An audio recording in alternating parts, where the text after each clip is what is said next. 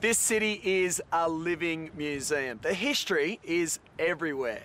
But these days, the Silver City's riches aren't in the ground, they're on the walls, in the galleries. A cultural oasis in the middle of the outback. And if you know where to shop, then you can take a little piece of it home with you. This used to be one of Australia's toughest cities and the richest.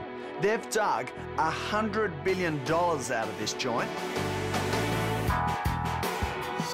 These days, it's one of Australia's most happening art communities.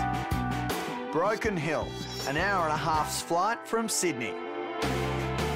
The walls around here haven't always been this colourful.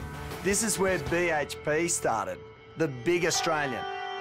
Nowhere else on Earth had as much lead, silver and zinc. These days, it's home to world-renowned artists like Pro Hart, Broken Hill's favourite son. You've just got to see Pro's gallery.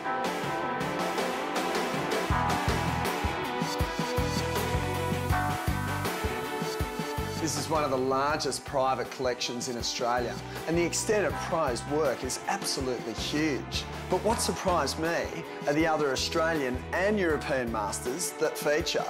There's a William Dobell collection, a Monet, and even a Picasso. And yeah, it's a gallery, not a museum, so there's paintings for sale. So, Regan, what would you expect to pay for a Pro Hart original? Um, well, in the gallery at the moment, we've got paintings that range from about $1,000 up to about 25000 Right, okay. So not only is it something that you would thoroughly enjoy, but it's also going to be an investment. 2003, 2004, the prices actually rose 30%. And how do you know that you have an original? Well, what we're actually doing now is putting the Pro Hart DNA art mark on all of the paintings, which is Pro's DNA. Okay, so you've got the real McCoy. Yeah, definitely. There's almost 40 professionals and at least 100 hobby artists in town, and you don't have to look too hard to find their work.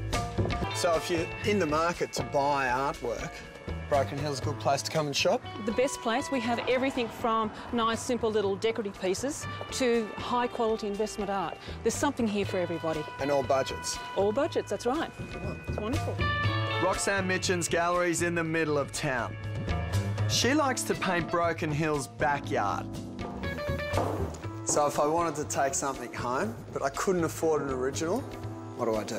I have a variety of prints, Tom, that you could choose from. I have open edition prints and limited edition prints. And quite frankly, once they're framed, you wouldn't tell the difference from an original. So it's a cheaper option that's going to look exactly the same. Exactly. The galleries around town could keep you busy all day, but I reckon this is Broken Hill's most spectacular exhibit. 12 sandstone sculptures on the edge of the desert. Now, this is art that money can't buy, but you've got to come out and see it for yourself. It is just spectacular.